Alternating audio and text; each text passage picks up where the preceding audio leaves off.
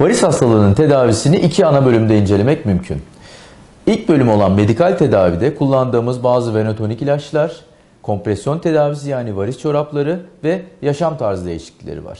Yaşam tarzı değişiklikleri hastaların e, sıcaktan uzak kalmaları, çok uzun süre ayakta kalmamaları, varsa hamam, kapça, sauna gibi alışkanlıklarını değiştirmeleri, işten eve geldikten sonra ayaklarını yükseğe kaldırıp en az 15-20 dakika dinlenmeleri var.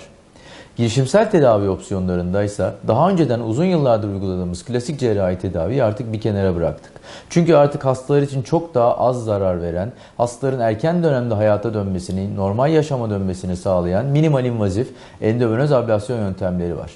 Endovenöz lazer ablasyon, endovenöz radyofrekans ablasyon ya da endovenöz glue embolizasyonuyla bu damarları artık lokal anestezi altında küçücük bir iğne deliğinden Doppler ultrasonla kapatabiliyoruz ve kaçağı engelliyoruz.